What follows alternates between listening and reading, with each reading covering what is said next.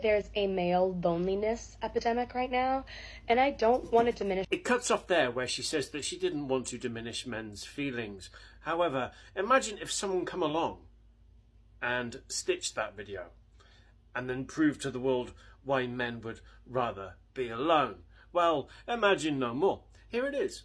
There's a male loneliness epidemic right now, and I don't want to diminish. I do.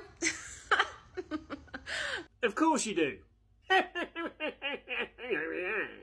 this is the funniest thing I've heard all day. You either need funnier friends or a better personality, because it's not a joke. If you think laughing about other people's pain is funny, that says more about you than it does anybody else. Maybe if they weren't so insufferable to be around, or Self awareness a little bit right now, can we? If they just stopped cheating on their fucking wives, they Oh, okay, because women never cheat on men ever. Let's take a trip down to Delulu Land. they wouldn't be so goddamn lonely. Lonely!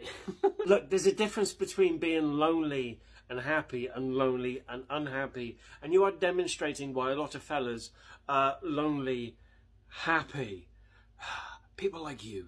We hear day in, day out that women are more caring and loving and supporting than anyone else, but we, we see day in, day out that they may be loving and supporting than anyone else, but never towards men. It's funny that, isn't it?